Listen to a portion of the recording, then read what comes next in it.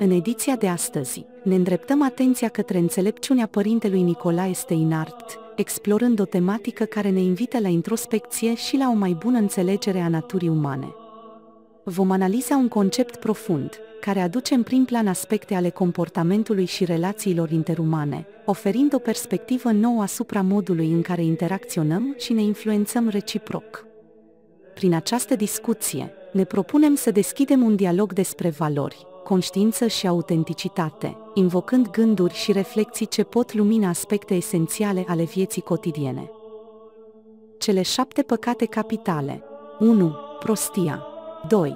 Recursul la scuze Nu știu, n-am știut 3. Fanatismul 4. Invidia 5. Trufia neroadă 6. Turnătoria 7. Răutatea gratuită mai adaug o a opta, dragostea cu sila.